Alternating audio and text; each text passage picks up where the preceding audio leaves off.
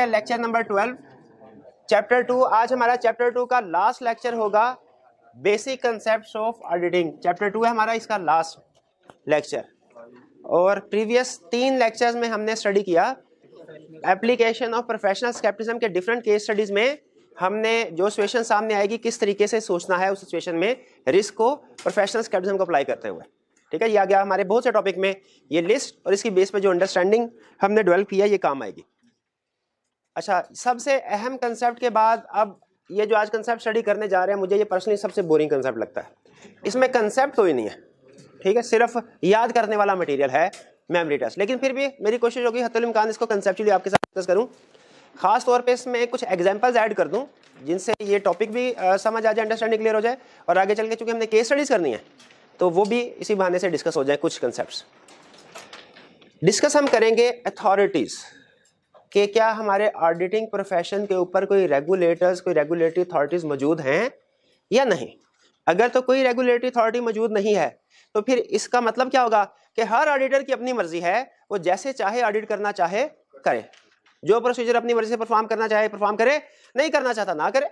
हर auditor अपनी मर्ज़ी की रिपोर्ट दे रहा होगा, उसमें अपनी मर्ज़ी की लैंग्वेज अपनी मर्ज़ी की जैसे हर स्टूडेंट के इंग्लिश डिफरेंट है दूसरे से, हर एक की वैकेबलरी डिफरेंट है तो हर ऑडिटर अपनी लदा रिपोर्ट दे रहा होगा जिसमें लदा वर्डिंग यूज़ हो रही होगी और यूज़र्स को समझने में प्रॉब्लम आएगी। कि यहाँ पे इससे क्या मुराद है? कोई ऑडिटर रीजनेबल इंश्योरेंस का वर्ड यूज़ कर रहा होगा, कोई मैक्सिमम इंश्योरेंस का वर्ड यूज़ कर रहा होगा, कोई फुल इंश्योरेंस का वर्ड यूज़ कर रहा होगा। तो यूज़र्स को समझ नहीं आएगी अगर कोई रेगुलेटर्स ना हो। लेकिन अगर कोई रेगुलेटर्स होंगे तो वो कोशिश करेंगे कि प्रोफेशन में स्मिट्री लाने की। वो कोशिश करेंगे आइटर्स को गाइड करने की। कि इस तरह की सिचुएशन में इस तरह की प्रोसीजर परफॉर्म करने हैं। ये प्रॉब्लम आ जाए तो आपको ये करना चाहिए। रिपोर्ट इशू करनी है तो ये format of report issue opinion देना है तो ये स्टैंडर्डाइज वर्डिंग होगी। ये गाइडेंस होगी। तो बिल्कुल हमारे प्रोफेशन यानी ऑडिटिंग प्रोफेशन के कुछ रेगुलेटर्स मौजूद हैं। ये रेगुलेटर्स दो लेवल पे हैं। एक इंटरनेशनल लेवल पे और दूसरा नेशनल लेवल पे। नेशनल लेवल पे बता सकते हैं रेगुलेटर्स कौन कौन है शाबाश आई कैप और एस ये दो रेगुलेटर्स हैं। ये दोनों मिलके काम करते हैं रेगुलेट करते हैं ऑडिटिंग प्रोफेशन को। आ, हमारे ऑडिट से रिलेटेड बहुत सी प्रोविजंस ऐसी हैं जो कि एस ने कंपनीज़ एक्ट में के थ्रू इशू की हैं। जैसे क्वालिफिकेशन ऑफ़ ऑडिटर जो बंदा ऑडिटर पॉइंट होगा उसकी क्वालिफिकेशन क्या होनी चाहिए उसके राइट्स क्या होंगे ड्यूटीज़ क्या होंगे वगैरह वगैरह। और बहुत से एरियाज़ पे आई कैप गाइडेंस प्रोवाइड करता है। तो नेशनल लेवल पे तो आई कैप और एस दोनों रेगुलेटर शामिल है जो कि हमारे सिलेबस में नहीं है। हमारे सिलेबस में जो रेगुलेटर्स है जिनकी अंडरस्टैंडिंग ऑब्टेन करते हैं वो इंटरनेशनल लेवल के। इंटरनेशनल लेवल पे कौन रेगुलेटर्स हैं? दो। आईफेक जिसे कहते हैं इंटरनेशनल फेडरेशन ऑफ़ अकाउंटेंट्स और आईएएएसबी जिसे कहते हैं international auditing assurance standard board ठीक है? ये दो अथॉरिटीज हैं आईफैक और आईएएएसबी ठीक है? तो आज के लेक्चर में हम आईफैक और आईएएएसबी के बारे में स्टडी करेंगे, और फिर जो सबसे अहम काम ये दोनों बॉडीज करते हैं, सबसे अहम काम, वो क्या? ऑडिट आई एस इशू करते हैं। उनके बारे में स्टडी करेंगे कि आईएसएस क्या होते हैं, कैसे इशू किए जाते हैं, बनते कैसे हैं ओरिजिनेट कैसे होते हैं, और क्या है एज ऑडिटर हमने इन सब की रिक्वायरमेंट्स को पूरा करना लाजमी है कि कहीं पे हमें ऊंच नीच की इजाज़त है। ये हमारे बेसिक कंसेप्ट होंगे आज के। एक रेगुलेटरी अथॉरिटीज़ को पढ़ना है। हमारे ऑडिट प्रोफेशन की इंटरनेशनल लेवल पे रेगुलेटरी अथॉरिटीज़ कौन सी हैं? और दूसरा, हमने ये रेगुलेटरी अथॉरिटी जो सबसे अहम काम करती हैं, यानी international standard on auditing issue करते हैं। उसका प्रोसेस और उसकी कंपोजिशन के स्टैंडर्ड में क्या क्या चीज़ें होती हैं और अथॉरिटी क्या इन स्टैंडर्ड्स की? यानी क्या हमारे लिए इनको कंप्लाई करना लाजमी है या अपनी मर्ज़ी के मुताबिक हम इनको कंप्लाई करें या ना करें? ये हमारे आज के लेक्चर का ओवरव्यू है। स्टार्ट करते हैं सबसे पहले आईफैक के ऊपर। आईफैक है इंटरनेशनल आईफैक से बनता क्या है? इंटरनेशनल फेडरेशन ऑफ़ अकाउंटेंट अच्छा यहाँ पे पहली बात जहन में ये आती है कि अगर आईफैक ऑडिटिंग प्रोफेशन की सुप्रीम ऑर्गेनाइजेशन है तो इसका नाम इंटरनेशनल फेडरेशन ऑफ़ ऑडिटर्स होना चाहिए था, आईएफएडी। ये आई एफ़ ए आईएफएसी क्यों है? इसलिए कि पाकिस्तान समेत पूरी दुनिया में जो ऑडिटर्स होते हैं, वो नॉर्मली चार्टर्ड अकाउंटेंट्स होते हैं, ठीक है? इसीलिए बेसिकली इसका स्कोप वाइड करने के लिए कि ये जो एक्टिविटीज़ बताएगा, वो सिर्फ़ ऑडिटिंग, ऑडिटर्स के लिए नहीं है, वो हर चार्टर्ड अकाउंटेंट के लिए है। इसीलिए इसका नाम रखा गया IFAC international federation of accountants. ठीक है? क्योंकि चार्टर्ड अकाउंटेंट आगे ऑडिट करेंगे। इसीलिए ये है आईफैक, लेकिन रेगुलेट किसको करता है? ऑडिट प्रोफेशन अकाउंटिंग प्रोफेशन को बता सकते हैं कौन बॉडी रेगुलेट करती है? I A S B international accounting standards board ठीक है? आई एस बी है ना? अभी नाम चेंज तो नहीं हुआ बट नाम चेंज होते रहते हैं, इसलिए कंफर्म कर रहा था। चलिए बहरहाल, आईफैक। आईफैक क्या? Global organization global organization. अच्छा मुझे ये बताए, अगर आपने पाकिस्तान में इंटर पास किया हो एफ़ ए आई काम किया हो 1100 में से 1100 नंबर लेके और आप चले जाएँ यूके आप चले जाएँ यूएसए आप चले जाएँ जर्मनी वो आपको अपनी लोकल इंटर की क्वालिफिकेशन के बराबर बैठाएँगे? ना ना ना ना वो नहीं, वो कहेंगे आप हारेगा हाँ बहुत सी टेस्टिंग बाज़ात इक्विलेंस सर्टिफिकेट्स देते भी है, लेकिन बहुत से हमें एडिशनल सब्जेक्ट वगैरह पेपर्स देने पड़ते हैं। लेकिन ऑडिट प्रोफेशन याद रखे, फ़ायदा क्या है? एक मैं आपको बताना चाहता हूँ कि स्टैंडर्डाइजेशन का फ़ायदा क्या है? आईफेक करता क्या है? आईफेक इंटरनेशनल ऑर्गेनाइजेशन है पूरी दुनिया में ऑडिटर्स की, जो कि समझ लीजिए हमें ऐसा सिलेबस देती है। जो पूरी दुनिया के ऑडिटर्स ने उसी को पढ़ना है, उसी के मुताबिक अपने प्रोसीजर परफॉर्म करना है। इसका फ़ायदा क्या होता है? आपने पाकिस्तान में ऑडिट पढ़ना जो जो स्टैंडर्ड काउंटिंग के, जो जो स्टैंडर्ड ऑडिट के, आप पाकिस्तान में बैठ के पढ़ रहे हैं, जर्मनी में, फ्रांस में, इंडिया में, ऑस्ट्रेलिया में यूएसए में यूके में, हर जगह पे वही स्टैंडर्ड पढ़ाया जाए। थोड़ी बहुत लोकल रिक्वायरमेंट चेंज होती हैं लोकल रिक्वायरमेंट जैसे टैक्स की फॉर एग्जांपल वो आपको पता है हाँ जैसे लॉ की कुछ, वो डिफरेंट हो। लेकिन जो ऑडिटिंग प्रोसीजर्स हैं जो वो सेम होंगे। इससे फ़ायदा क्या होता है कि हमारी रिकग्निशन सिर्फ़ पाकिस्तान लेवल पे नहीं है, बल्कि पूरी दुनिया में। हम क्वालिफिकेशन पाकिस्तान में कंप्लीट करके दुनिया के किसी हिस्से में भी जाके सेट होना चाहे, बड़ी आसानी के साथ सेट हो सकते हैं। जो कि दूसरी अकेडमिक क्वालिफिकेशन में ऐसा पॉसिबल नहीं होता, निस्बतन मुश्किल है। और इसकी रीजन क्या है? इसकी बड़ी रीजन ये है, हमारी एक इंटरनेशनल ऑर्गेनाइजेशन है, जो सारे पूरी दुनिया में इस प्रोफेशन को रेगुलेट करती है। रेगुलेशन करने का मकसद क्या है? स्मिट्री है। हर जगह पे एक ही तरह की प्रैक्टिस जैसे अगर पाकिस्तान में किसी कंपनी की इन्वेंट्री है, उसको वेरीफाई करने के लिए जो पाकिस्तान के ऑडिटर प्रोसीजर परफॉर्म कर रहे हैं यूएसए के आइटर्स भी वही प्रोसीजर परफॉर्म कर रहे हो। ठीक है? यूके के आइटर भी वही प्रोसीजर परफॉर्म कर रहे हो। इस सिमेट्री की वजह से काउंटिंग में भी इसी तरह है आईएफआरएस में भी और आईएस प्रोफेशन में भी इसी तरह है। सिमेट्री की वजह से हमारी जो इंटरनेशनल लेवल पे मूवमेंट है, वो बहुत आसान हो जाती है। आप एक कंट्री से दूसरी कंट्री में सेटल हो सकते हैं। ये बहरहाल इसका फ़ायदा था आउट ऑफ़ द बुक्स जो मैंने आपको बताया। किताब क्या कहती है कि आईफैक क्या करता है? ये ग्लोबल ऑर्गेनाइजेशन है और लीडर है किस प्रोफेशन में? ऑडिट प्रोफेशन इनकी एक्टिविटी आईफैक की एक्टिविटी क्या है? काम क्या क्या करता है? ये सपोर्ट करता है।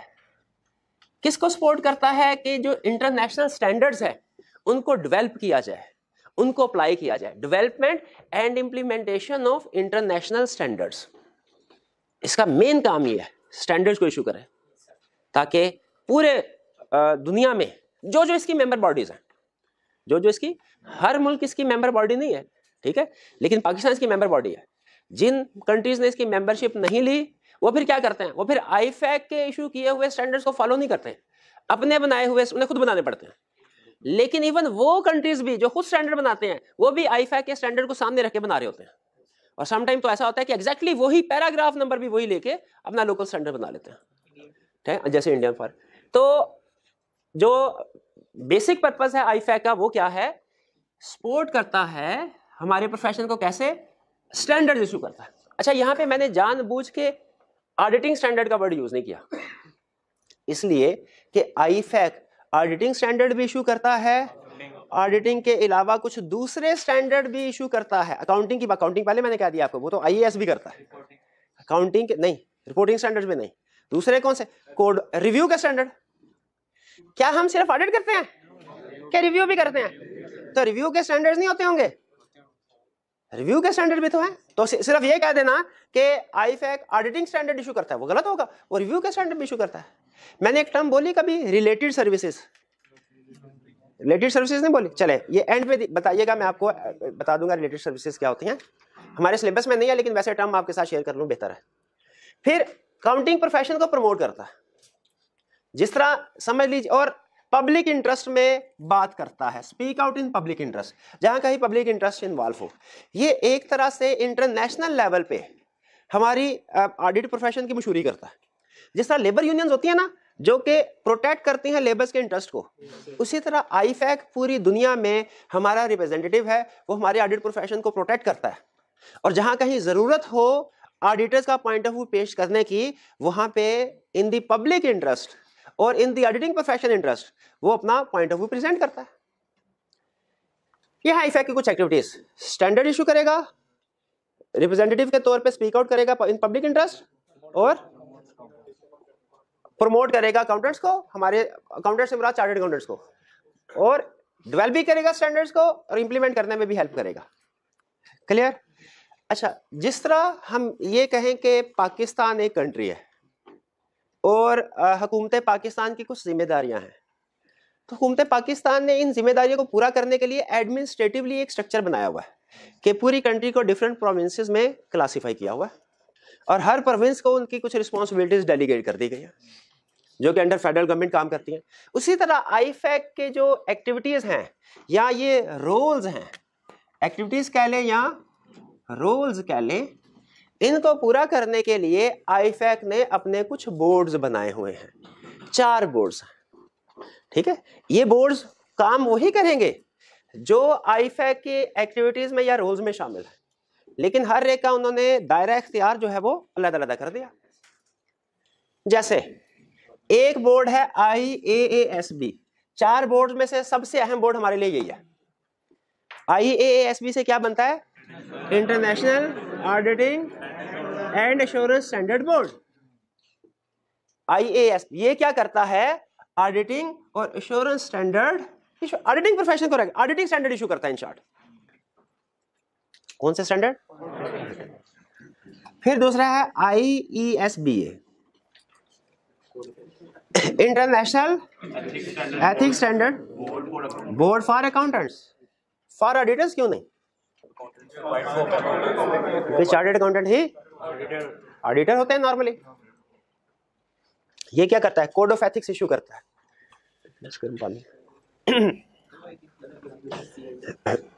जी? ना गला कुछ खराब है इस वजह से बोलने में कुछ प्रॉब्लम होगी।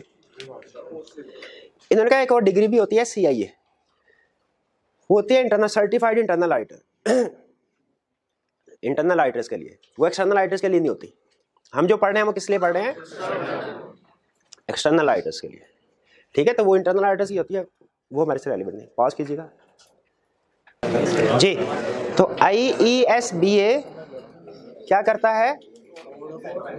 कोड ऑफ़ एथिक्स को इशू करता है। अच्छा मुझे ये बताइए, क्या क्या कोड ऑफ़ एथिक्स की कंप्लायंस करना ज़रूरी होता है? बिल्कुल।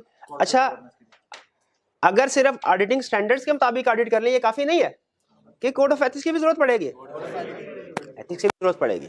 साबित कीजिए, अभी तक की अपनी स्टडीज़ से, किसी जगह पे हमने पढ़ा हो कोड ऑफ़ एथिक्स को इंडर कहा, किस किस कंसेप्ट में पढ़ा था कोड ऑफ़ एथिक्स के बारे में? कोड ऑफ़ कॉर्पोरेट गवर्नेंस नहीं। जी।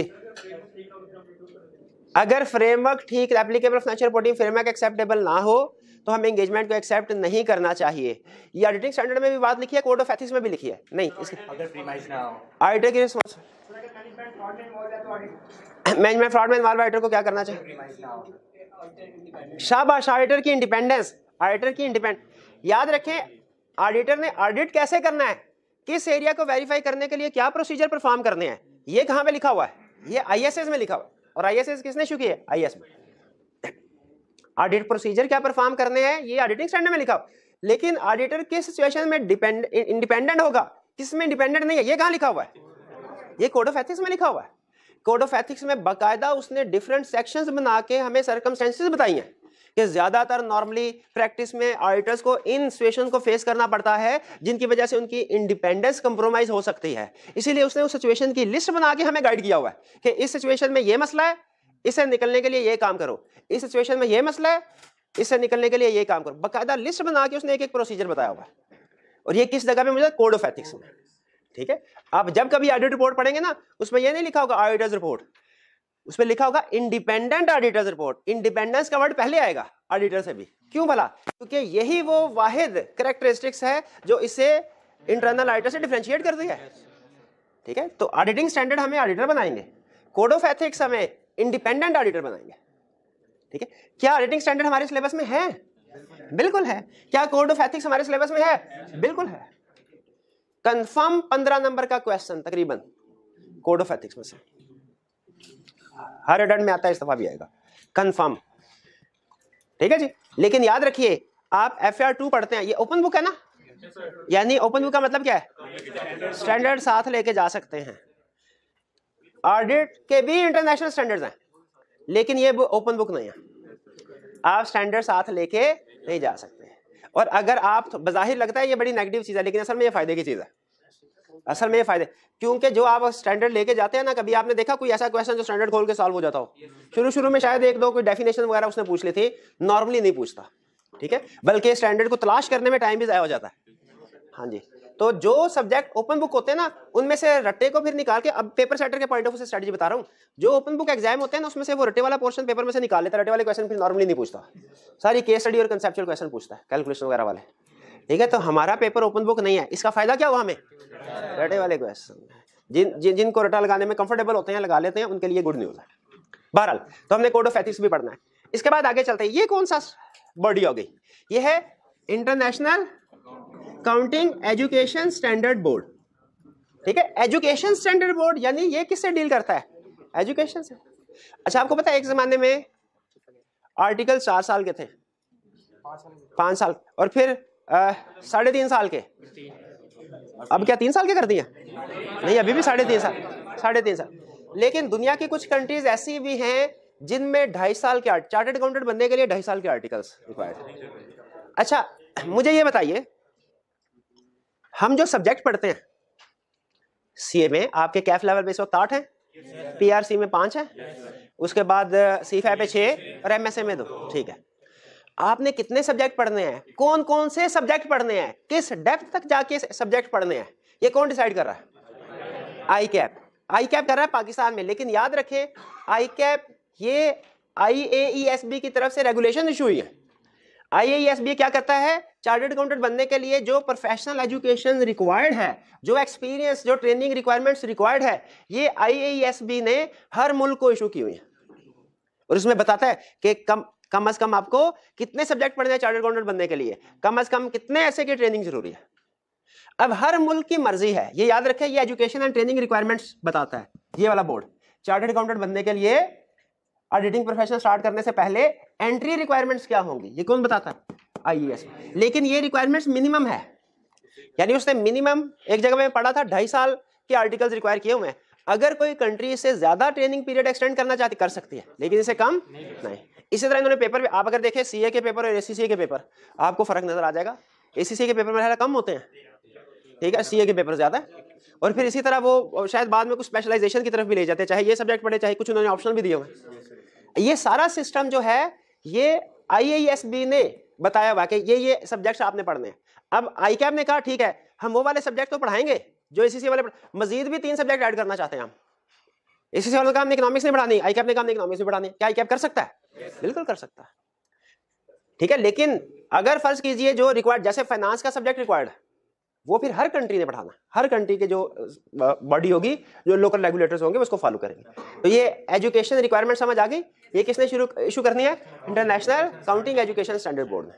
कि चार्टर्ड अकाउंटेंट बनने के लिए मिनिमम रिक्वायरमेंट्स क्या है? फिर last public sector board IPSA international public sector accounting standard board ये क्या अश्योरेंस स्टैंडर्ड बोर्ड होगा मेरा क्या है? काउंटिंग स्टैंडर्ड बोर्ड है काउंटिंग स्टैंडर्ड बोर्ड ये पब्लिक सेक्टर को डील करता है। ये जो आई एस यहाँ पे इशू हो रहे हैं ना ये ये इशू हो रहे हैं हमारे प्राइवेट सेक्टर के लिए। प्राइवेट सेक्टर से हमारा जो प्रॉफिट ओरिएंटेड ऑर्गेनाइजेशन है।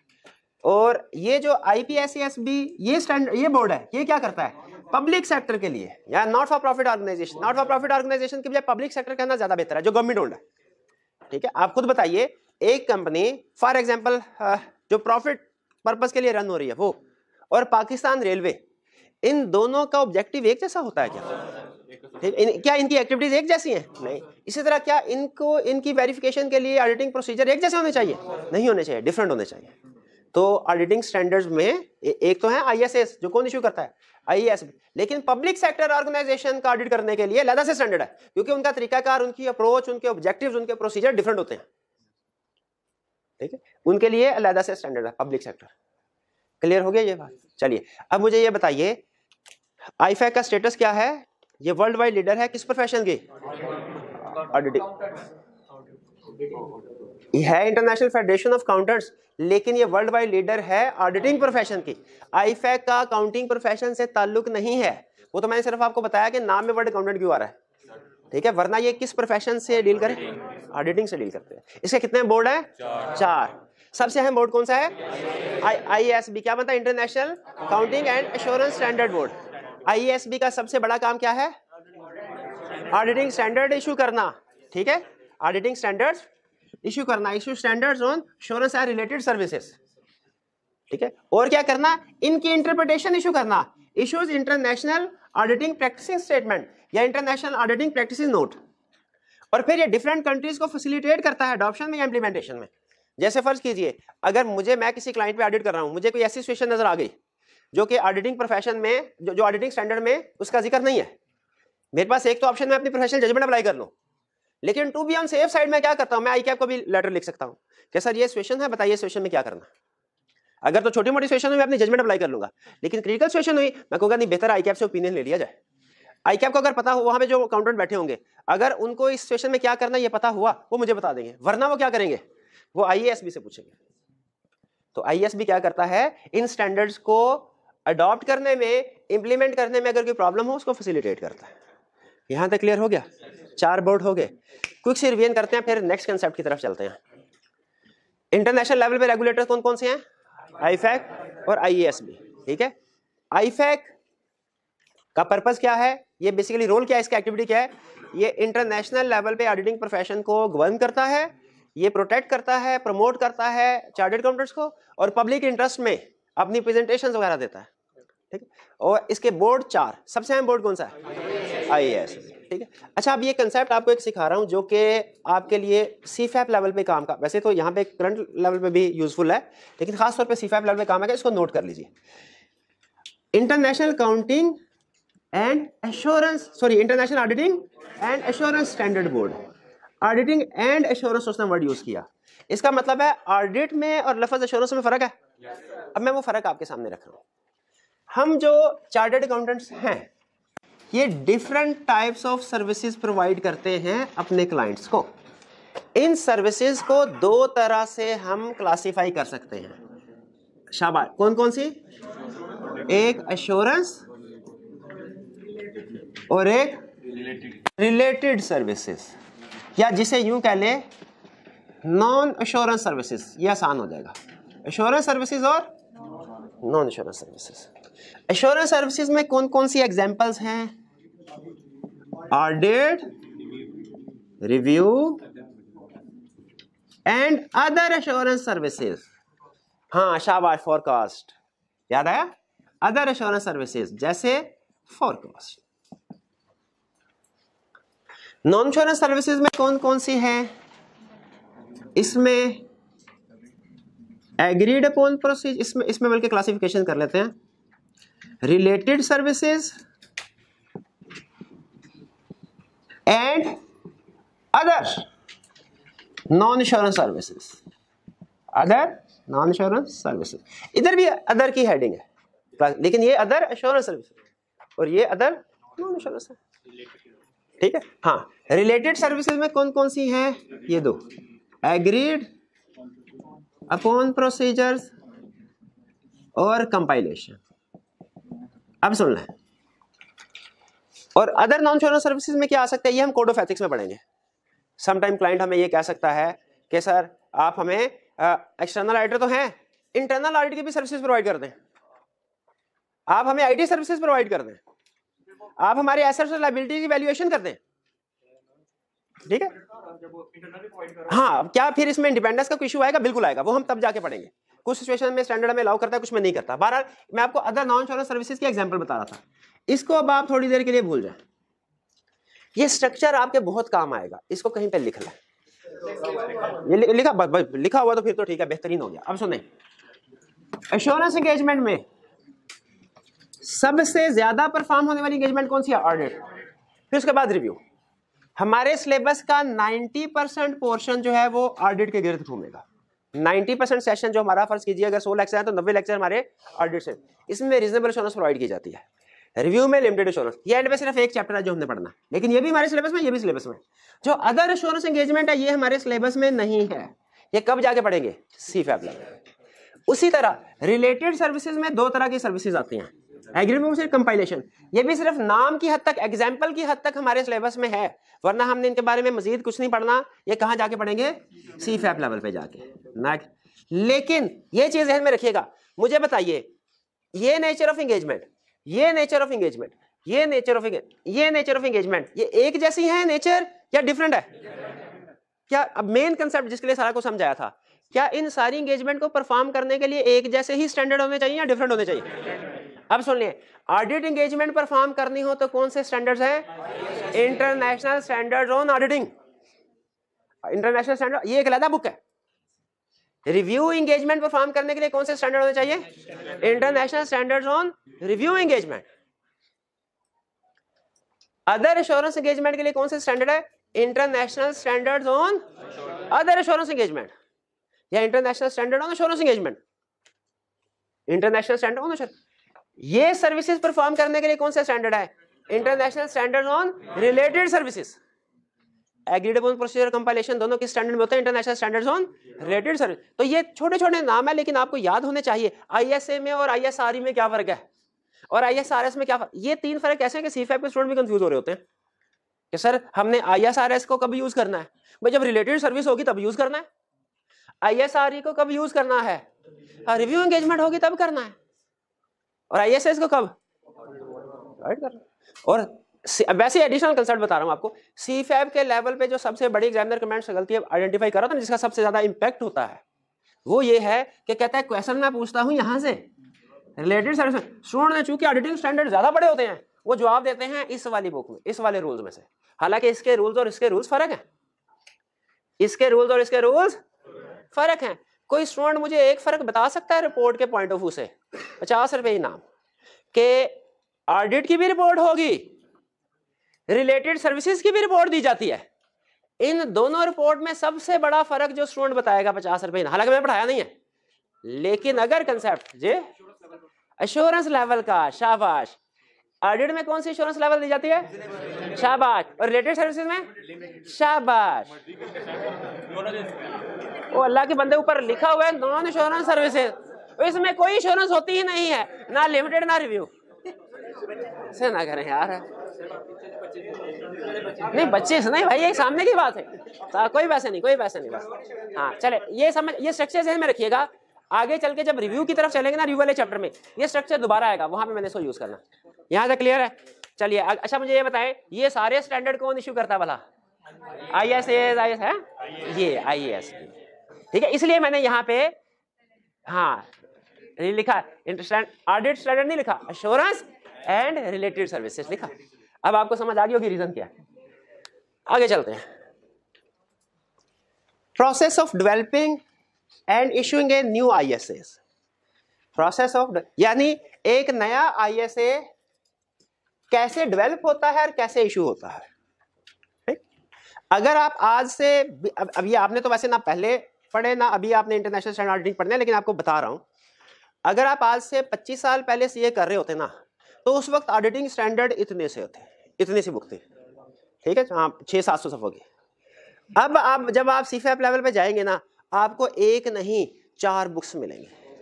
और उनमें से जो एक बुक पहले वाली बुक है, जो ऑडिटिंग स्टैंडर्ड की ऑडिटिंग की लदा है रिव्यू वगैरह की लदा है, इतनी मोटी सी। हाँ जी, बल्कि बल्कि उसमें एक स्टैंडर्ड तो ऐसा है, जो पुराने पूरे स्टैंडर्ड्स के बराबर है।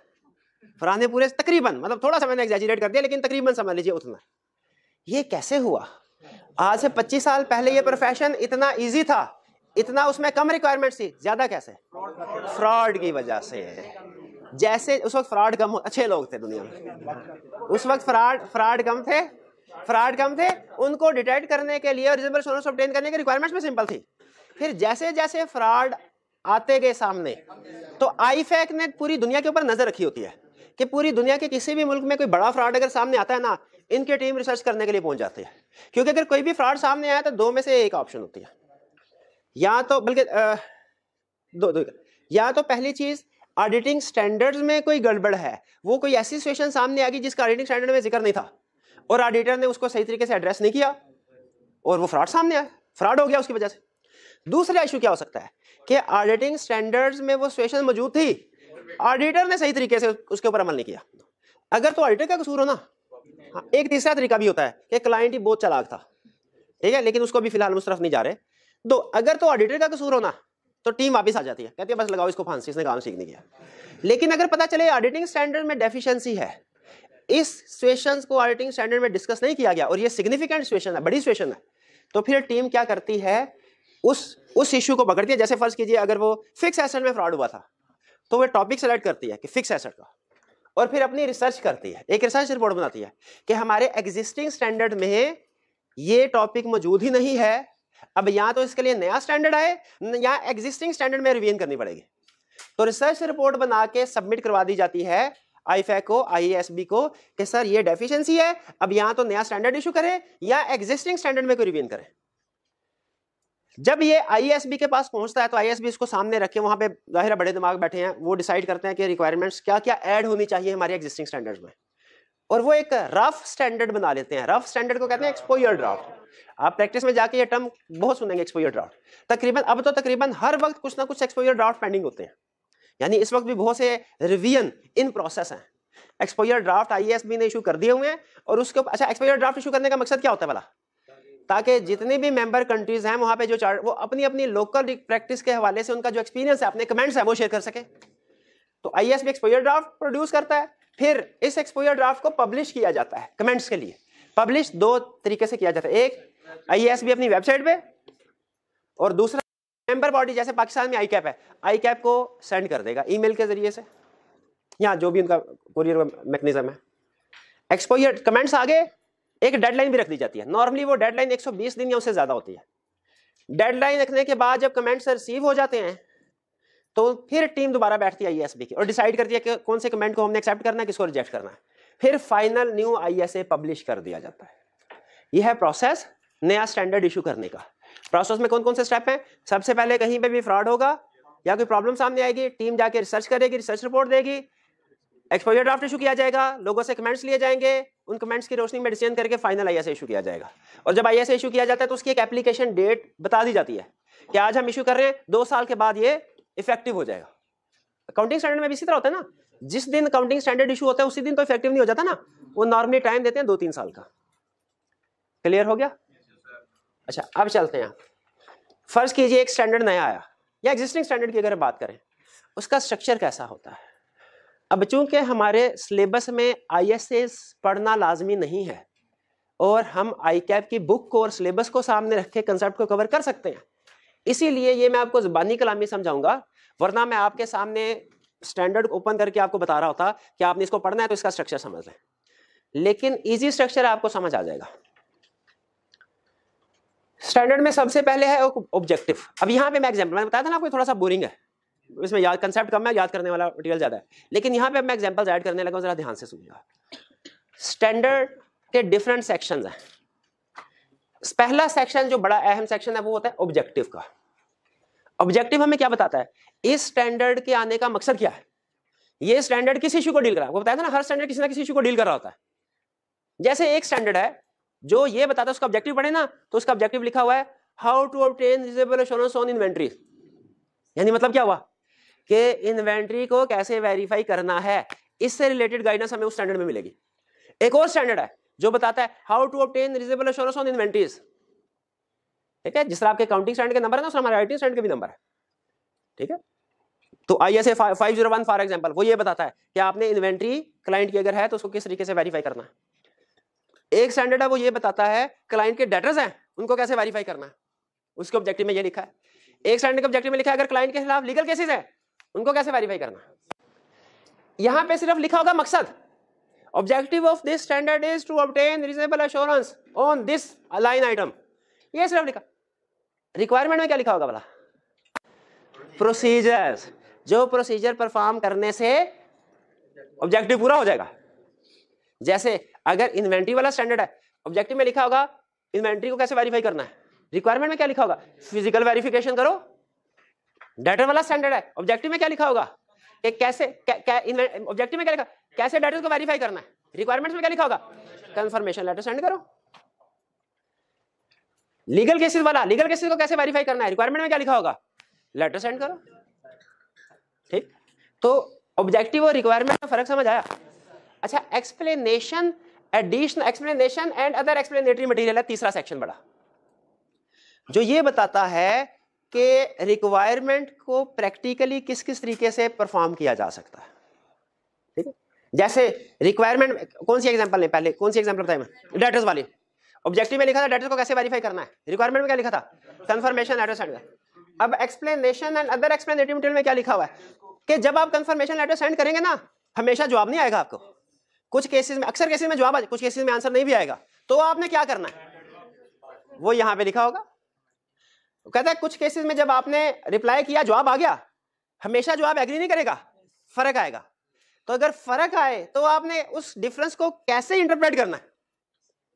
ये कहाँ लिखा हुआ है? यहाँ पे।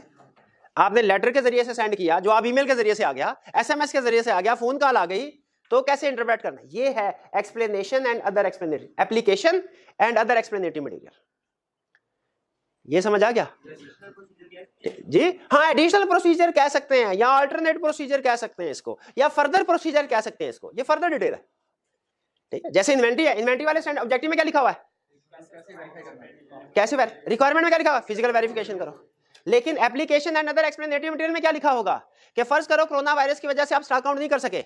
महीने बाद गए तो क्या करना? रिवर्स वर्क ये गाइडेंस में पता चला था हमें। रिवर्स वर्किंग की इजाज़त है हमें। ठीक है? तो ये सारा, ये इनका स्ट्रक्चर क्लियर हो गया। फिर इसके बाद, इसमें कुछ और चीज़ें भी आती हैं, जैसे डेफिनेशन भी होती हैं इफ़ेक्टिव डेट भी होती है, वो हमारे लिए अहम नहीं है। हमारे लिए जब कभी भी आप स्टैंडर्ड पढ़ेंगे, जब कभी भी स्टैंडर्ड पढ़ेंगे, आपके लिए सिर्फ़ तीन चीज़ें अहम हैं। ऑब्जेक्टिव क्या है? रिक्वायरमेंट क्या है? और application and other explanatory material होगा, जो मैंने आपको बता दिया कि फर्दर गाइडेंस प्रोवाइड करता यहाँ तक क्लियर हो गया? आज के लेक्चर का लास्ट कंसेप्ट आईएसएस कौन बनाता है? पता चल गया। कैसे बनते हैं? पता चल गया। उनका स्ट्रक्चर क्या? ये भी पता चल गया। अब बेसिक क्वेश्चन क्या हमारे लिए इन आईएसएस को फॉलो करना लाजमी है? कि हम 19 बीस कर सकते हैं? सुनिएगा जरा गौर से। सुनिएगा जरा गौर से। कंसेप्ट है अथॉरिटी या स्टेटस ऑफ़ आईएसएस आईएसएस की क्या अथॉरिटी है, क्या स्टेटस है? अब सुने, एक सिंपल एक सेंटेंस में बता रहा है। आईएसएस का स्टेटस ये अथॉरिटी है कि आपने सारे आईएसएस की सारी रिक्वायरमेंट्स को पूरा करना है। Comply all requirements of all ISS her ISA की हर रिक्वायरमेंट को पूरा करना है। आपने काउंटिंग में कहीं एक डिस्क्लोजर पढ़ा हुआ है? These financial statements have been prepared in accordance with IFRS ये डिस्क्लोजर आता है ना? आता है, पढ़ा हुआ उस डिस्क्लोजर की इंटरप्रिटेशन में वो ये कहता है कि ये आपने डिस्क्लोजर सिर्फ़ उस सूरत में दे सकते हैं। जब आपने सारे के सारे आईएफआरएस को फॉलो किया अगर आपने कुछ आईएसए को फॉलो किया, कुछ को नहीं किया तो आप ये लाइन नहीं लिख एग्जैक्टली उसी तरह एज ऑडिटर अच्छा मुझे ये बताइए, हम अपनी ऑडिट रिपोर्ट में अगर ये लिख दे, हमने ये ऑडिट अपनी मर्ज़ी से किया है। और दूसरी लाइन हमने ये ऑडिट आईएसएस के मुताबिक किया है। यूज़र किस पे ज़्यादा कॉन्फिडेंट हो? आईएसएस के मुताबिक। लेकिन आईएसए कहते हैं, अगर आप अपनी रिपोर्ट में ये लिखना चाहते हैं we have conducted our audit in accordance with international standards on auditing तो कसम है आपको, क्या कि आपने हर आईएसए की हर रिक्वायरमेंट को पूरा करना है? एक आईएसए की एक रिक्वायरमेंट को भी पूरा ना ना किया? ये लाइन नहीं लिख सकते आप। ये लाइन नहीं, ये जेन में रखिएगा। हर आईएसए की हर रिक्वायरमेंट उसने कहा, लेकिन दो एक्सेप्शन हैं। जिनमें कोई रिक्वायरमेंट तो होगी, लेकिन आप पूरा नाप करें तो खैर है। जैसे, पहले अच्छा दोनों लफ्जों में आपने फ़र्क रखना है। एक में कह रहा है इफ़ नॉट रेलिवेंट दूसरा इफ़ नॉट फ़र्क क्या है? कहता है, अगर कोई स्टैंडर्ड या उसकी रिक्वायरमेंट नॉट रेलिवेंट हो तो उसको पूरा ना करो। उसके बावजूद रिपोर्ट में लिख सकते हो we have conducted our audit in accordance with ISS हमने कहा, इसका क्या मतलब है? एग्जांपल से बताओ। उसने कहा, फ़र्ज़ कीजिए। ऑडिटिंग स्टैंडर्ड में एक जगह पे रिक्वायरमेंट में लिखा हुआ है। अगर क्लाइंट की इन्वेंट्री है तो आपने उसको फिजिकली वेरीफाई करना है। लेकिन फ़र्ज़ कीजिए, जिस ऑडिट क्लाइंट कार्ड करने के लिए उसकी इन्वेंट्री है ही नहीं। रिक्वायरमेंट सर्विस सेक्टर रिक्वायरमेंट पूरी करेंगे? फ़िज़िकल वेरिफिकेशन करेंगे? नहीं करेंगे। लेकिन रिपोर्ट में इसके बावजूद लिख देंगे। We have conducted our audit in accordance with ISS तो उसका मतलब क्या हुआ? रेलिवेंट नहीं। रेलिवेंट का मतलब समझा? ऑडिटिंग स्टैंडर्ड ये कहते हैं कि अगर क्लाइंट के डाटा से कंफर्मेशन लेटर सेंड करो, एक लाइन का करने के लिए गए, उसके डाटा थे नहीं एडवांस में काम करता था। तो क्या आप कंफर्मेशन लेटर सेंड करेंगे? लेकिन स्टैंडर्ड ने तो रिक्वायर किया हुआ करने। हैं और भाई, वो सिचुएशन ही एग्जिस्ट नहीं करती। रेलिवेंट नहीं है। एक जगह पे स्टैंडर्ड ने कहा, अगर ऑडिटर मॉडिफाइड ओपिनियन इशू कर रहा हो तो वो जिस चीज़ की वजह से ओपिनियन मॉडिफाई हो रहा है, उसका रिपोर्ट में ज़िक्र करेगा। वो जो भी मसला है, उसका रिपोर्ट में ज़िक्र करना चाहिए ना स्टैंडर्ड ने कहा करेगा। लेकिन फ़र्ज़ कीजिए हमने ऑडिट किया और उसमें अनमोडिफाइड ओपिनियन दिया। क्या जो मॉडिफाइड ओपिनियन वाली इंफॉर्मेशन है हमें इंक्लूड करनी चाहिए? लेकिन स्टैंडर्ड तो कहता है, करेंगे। रेलिवेंट नहीं है। रेलिवेंट का मतलब समझ आया कि वो जिस सिचुएशन के लिए रिक्वायरमेंट है, वो सिचुएशन ही एग्जिस्ट नहीं कर रही। अब सुनिए प्रैक्टिकेबल का मतलब क्या है? प्रैक्टिकेबल का मतलब ये है कि कोई रिक्वायरमेंट रेलिवेंट तो है, लेकिन कुछ प्रैक्टिकल इश्यूज़ की वजह से डिफिकल्टीज की वजह से हम उसको परफॉर्म नहीं कर सकते। उससे एविडेंस नहीं ले सकते। हाँ शाबाश। जैसे एक क्लाइंट की इन्वेंट्री एग्जिस्ट कर रही है। एग्जिस्ट कर रहे हैं, लेकिन ये एंड पे काउंट नहीं कर सके कोरोना वायरस की वजह से। अब क्या, देखें रेलिवेंट है? प्रैक्टिकेबल नहीं है। इस सूरत में क्या करना है? अब देखिए ऊपर वाली सिचुएशन में तो कुछ नहीं करना नॉट रेलिवेंट लेकिन नॉट प्रैक्टिकेबल में क्या करना है? स्टैंडर्ड कहता है आप अल्टरनेटिव प्रोसीजर से एविडेंस ले लें। अल्टरनेटिव प्रोसीजर से आप क्योंकि हमें असल मकसद हमारा प्रोसीजर नहीं है। एश्योरेंस है। एविडेंस है अब मैं आपको थोड़ा जरा लॉजिकली सोचिएगा क्रिटिकली स्टैंडर्ड में ऑब्जेक्टिव भी है रिक्वायरमेंट भी है। रिक्वायरमेंट क्या बताती है? कि इन चीज़ों के ऊपर अमल करके आप ऑब्जेक्टिव को पूरा कर लेंगे। जरा सोच के बताइए ऑब्जेक्टिव और रिक्वायरमेंट दोनों में से वैसे दोनों ही होनी चाहिए? और नॉर्मल रूल भी यही है कि रिक्वायरमेंट को पूरा करेंगे ऑब्जेक्टिव पूरा होगा। लेकिन दोनों में से ज़्यादा अहम कौन है? ऑब्जेक्टिव साहब यही कंसेप्ट समझाना था। ऑब्जेक्टिव ज़्यादा अहम है। इसीलिए किसी सेशन में अगर कोई रिक्वायरमेंट पूरी करना नॉट प्रैक्टिकेबल हो, लेकिन हम कोई और प्रोसीजर परफॉर्म करके एविडेंस ले लें स्टैंडर्ड इजाज़त देता है कि नहीं देता? बिल्कुल देता। बिल्कुल देता है। क्यों? ऑब्जेक्टिव पूरा हो गया।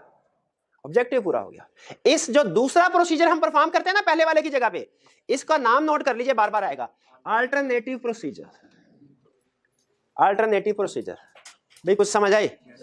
फिर से बताइए। अगर हमारे क्लाइंट के डेटर्स हैं ही नहीं रिक्वायरमेंट नॉट वैल्यू डेटर है, लेकिन एक डेटर के साथ क्लाइंट का झगड़ा चल रहा है अदालत में। अब कंफर्म है हमें वो जवाब ही नहीं देगा, या देगा भी तो कंफर्म नहीं करेगा, कुछ और ही लिख के भेजेगा। नॉट प्रैक्टिकेबल अच्छा नॉट प्रैक्टिकेबल है। तो फिर इस सिचुएशन में क्या करना है? कुछ भी ना करें। अल्टरनेटिव प्रोसीजर कौन स्टूडेंट बताएगा, इस सिचुएशन में अल्टरनेटिव प्रोसीजर क्या होंगे? पहले पहले जी बताइए हाँ जी। शाबा उसको जो चीज़ें बेची है, उसकी इनवाइसी चेक कर ले, यानी सेल इनवाइसी चेक कर ले। और बैंक स्टेटमेंट में चेक कर लो जो उससे पैसे आए हैं कि नहीं है। यही आई कैब कहता है। कहता है, अन्य प्रोसीजर साहब और भाईजान, उससे पैसे आगे होते तो हमारी लिस्ट ऑफ़ डेटर में थोड़ी होता वो। लिस्ट ऑफ़ डेटर में थोड़ी होता। चले चले छोड़ते चले, इस प्रोसीजर को निकाल दे।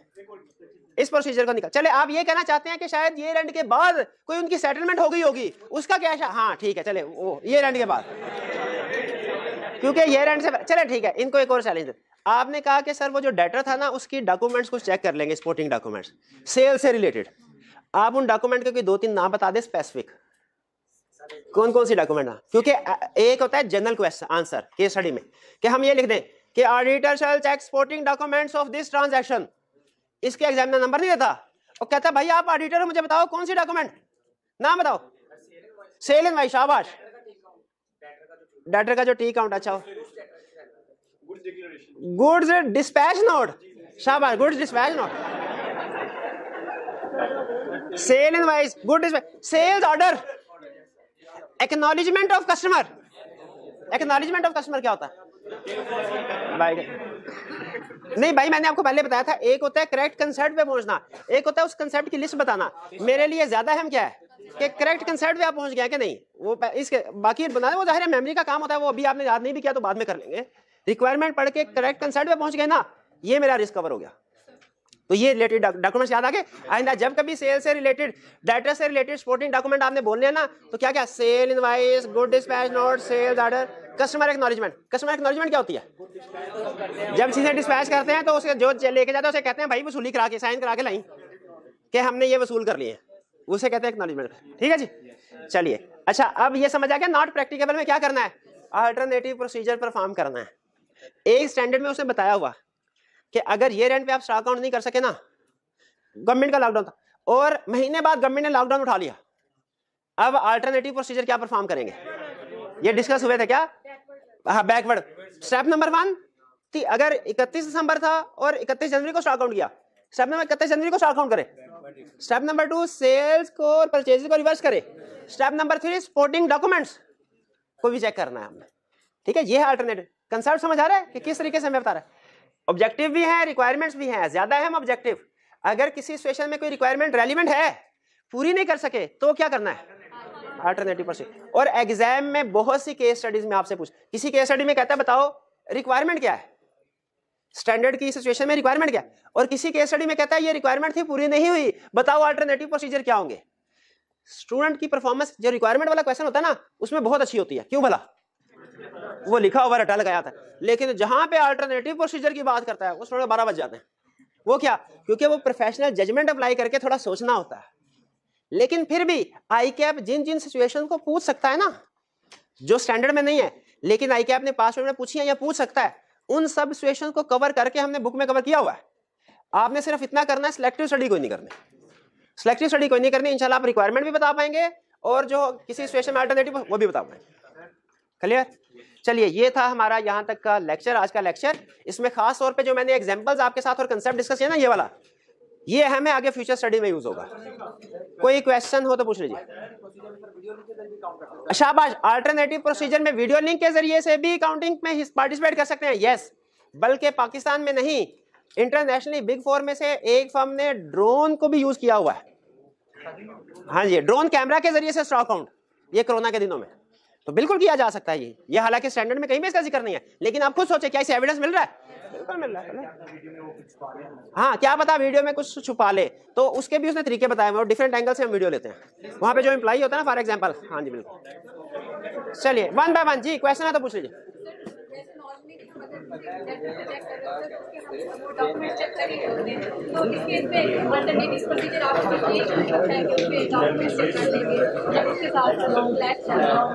अच्छा सुन लें, इनका क्वेश्चन ये है, भाईजान ये क्वेश्चन सुन लें, जो मुझे समझ आया, कि नॉर्मली हम ऑडिट करते हुए, जैसे सेल्स की वेरिफिकेशन में हमने सेल्स के डॉक्यूमेंट सारे चेक कर लिए होंगे, ये सारे गुड डिस्पैच नोट वगैरह तो डेटर्स वाले केस में दोबारा क्यों कर रहे हैं?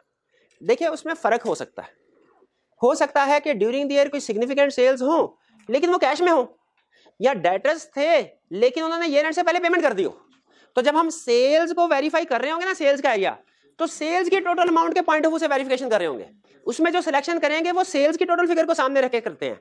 लेकिन जब डेटर्स को वेरीफाई कर रहे होंगे ना तो चूँकि सिर्फ़ क्लोजिंग बैलेंस को रिप्रेजेंट कर रहे होते हैं, जो कि नॉर्मली साल की आखिरी एक दो महीने की सेल्स होती है क्रेडिट सेल्स तो उसके लिए जो प्रोसीजर हमारे सेपरेट होंगे और उसमें हमारी सैंपलिंग का तरीकाकार भी डिफरेंट होगा। हाँ लेकिन चूँकि दोनों एरियाज़ इंटर रिलेटेड है तो बिल्कुल अगर हमने ऑलरेडी वो डॉक्यूमेंट सेल्स में वेरीफाई नहीं किए हुए तो हमें डेटर को करना पड़ेगा। लेकिन अगर ऑलरेडी सेल्स में वो ट्रांजेक्शन वेरीफाई कर ली है, जिनकी वजह से ये रेंट पे डेटर रिकॉर्ड हुआ हुआ है तो फिर दोबारा करने की ज़रूरत नहीं है।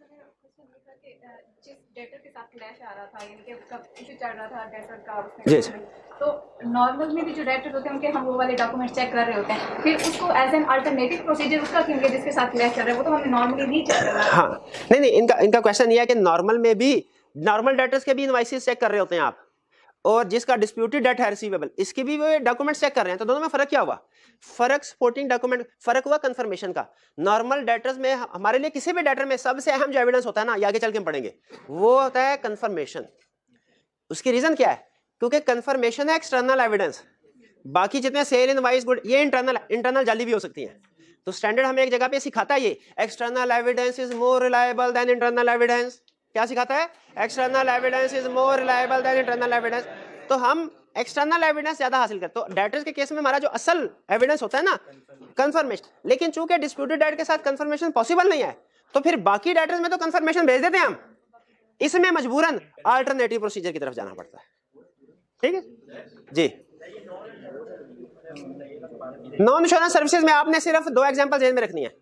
एग्रीड वन प्रोसीजर कंपाइलेशन और फिर तीसरा अदर का नाम यूज़ कर ले लेकिन अदर की एग्ज़ाम्पल आपके जेल में कोई ना आए।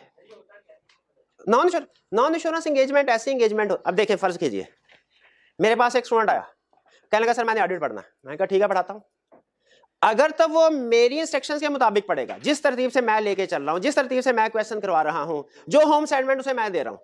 बताइए उसके रिज़ल्ट और अगर वो उसी के मुताबिक अमल करता है, उसके रिज़ल्ट की ज़िम्मेदारी मेरे है मेरे ऊपर है कि नहीं? क्योंकि मैंने अपनी मर्ज़ी से उसकी तैयारी करवाई, और जो इंटरनेशनल प्रैक्टिस थी उसके मुताबिक। लेकिन फ़र्ज़ कीजिए, अगर कोई स्टूडेंट आगे मुझे कहता है, नहीं नहीं सर पढ़ना तो है मैंने, लेकिन अपनी मर्ज़ी से। मुझे ये टॉपिक करवाएँ, ये ना करवाएँ।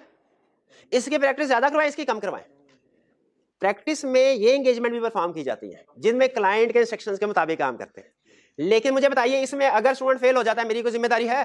मैं एक परसेंट ज़िम्मेदारी, मैं कहूँगा, भाई, किया ही आपकी इंस्ट्रक्शन के मुताबिक है तो ज़िम्मेदारी मेरी कोई नहीं। तो बेसिक डिफरेंस जो श्योरेंस एंगेजमेंट और नॉन श्योरेंस एंगेजमेंट में है ना, जो भाई पूछ रहे हैं, वो ये है कि श्योरेंस एंगेजमेंट में हम अपनी जजमेंट की मदद से इंटरनेशनल स्टैंडर्ड्स की मदद से परफॉर्म कर तो हम जिस चीज़ को वेरीफाई किया ना, अगर बाद में गलत साबित हो जाए तो हमारा, हम कुछ ज़िम्मेदारी एक्सेप्ट कर सकते हैं। हम जिम्मेदार हो सकते हैं। लेकिन अगर नॉन इंश्योरेंस एंगेजमेंट हो, इसमें बेसिक डिफरेंस है क्लाइंट की इंस्ट्रक्शंस के मुताबिक काम करते हैं। क्लाइंट के इंस्ट्रक्शंस के मुताबिक काम बाद में तबाही भी फिर जाए। हमारी ज़िम्मेदारी, कोई नहीं। हम कहते, भाई, तुम्हारे कहने पे काम किया था।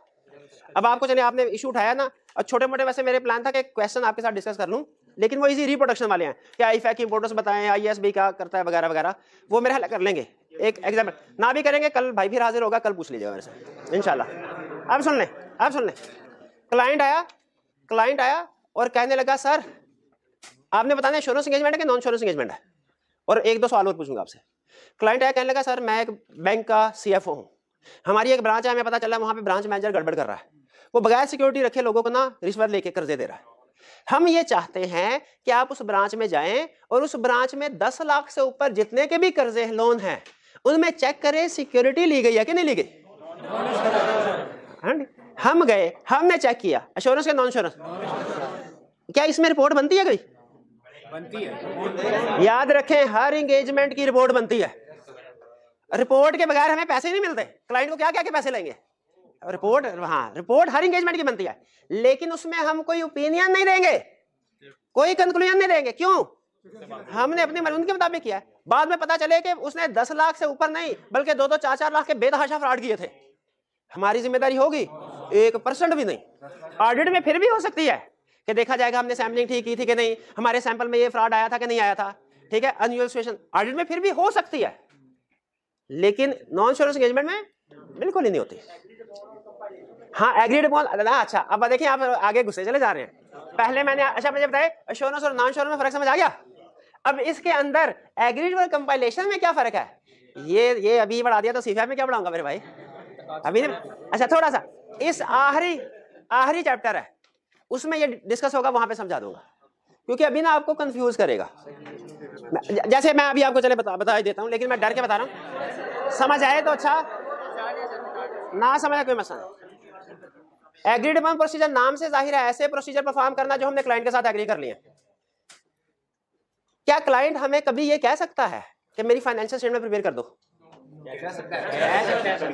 कभी कभी हमारे अक्सर क्लाइंट ऐसे होते हैं कैश फ्लो नहीं बना इनकम स्टेटमेंट बना लेते हैं बैलेंस शीट कैश फ्लो नहीं डाली होती। वो फिर हमें कहते हैं सर कैश फ्लो बताइए मुफ़्त में कर देना चाहिए कैश फ्लो प्रिपेयर हम उन्हें कहेंगे सर ये लैदा से एंगेजमेंट है। हाँ थोड़ा कैश लो इधर भी लाए।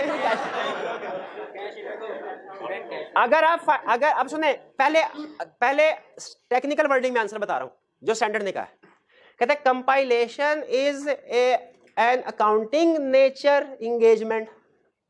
Agreed upon procedure is an audit nature engagement फिर एक्सप्लेनेशन में कहता है अगर क्लाइंट आपको कोई फाइनेंशियल स्टेटमेंट प्रिपेयर करने के लिए कहे वो कंपाइलेशन है। क्योंकि ऑडिट में हम फाइनेंशियल आपको पता है मैनेजमेंट की ज़िम्मेदारी है? अगर कहते वो कंपाइलेशन है। और अगर क्लाइंट कहे कि ऑडिट प्रोसीजर परफॉर्म करो लेकिन मेरी मर्ज़ी से जैसे मैंने एक भी मैच मैच वाले एग्जांपल दी इसमें उसने मैं ये नहीं कहा था फाइनेंशियल में प्रिपेयर करो।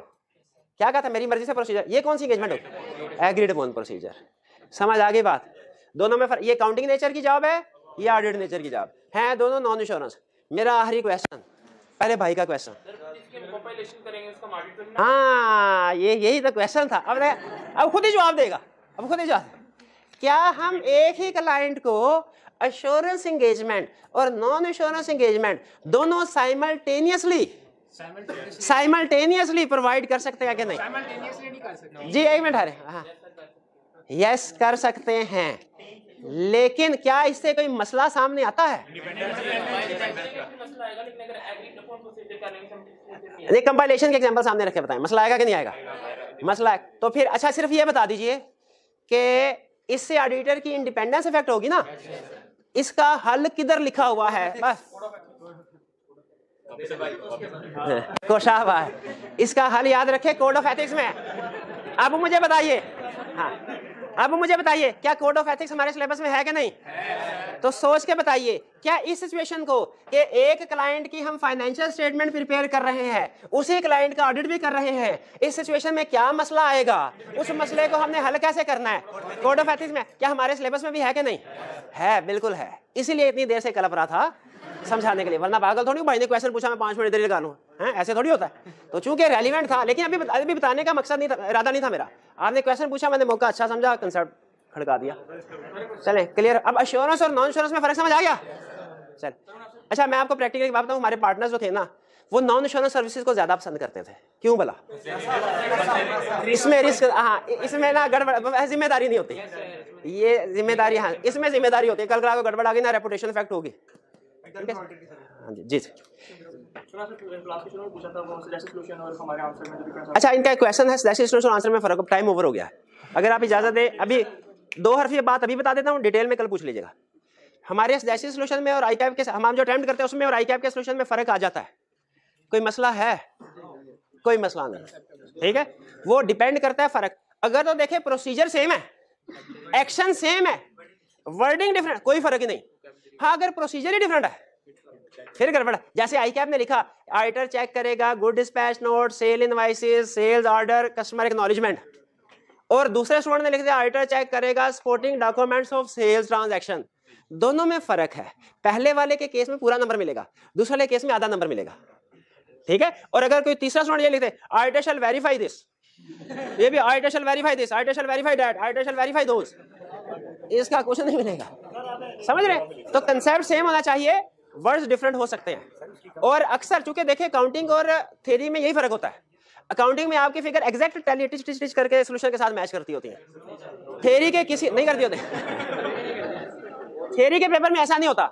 हर स्टूडेंट की अपनी कैबलरी है, अपना सेंटेंस स्ट्रक्चर बनाता है, उसमें उसमें हमेशा ऐसे ही होगा। हमेशा फ़र्क, कभी अभी गारंटी दे के कह रहा हूँ। कभी ऐसा नहीं, आपका बड़ा भी मैच करेगा ना, बहुत भी। जब आप परफेक्ट लेवल पे पहुँच जाएँगे, जो रिक्वायर्ड है। एटी परसेंट सोल्यूशन आपका मैच कर सकता है मैक्सिमम इससे ज़्यादा नहीं। इससे ज़्यादा हाँ। और रिक्वायर्ड भी नहीं है। कंसेप्ट आपने concept, हमेशा जब कभी मैं सोल्यूशन पढ़ो आपने कंसेप्ट मैच करने हैं। ये काउंटिंग नहीं है कि आप फिगर्स भी मैच कर रहे होंगे। फिगर्स मैच नहीं होंगे। एक एक लफज मैच नहीं होगा। काउंटिंग नहीं है। थेरी का पेपर ऑडिट है। इसमें कंसेप्ट मैच करने हैं हमेशा।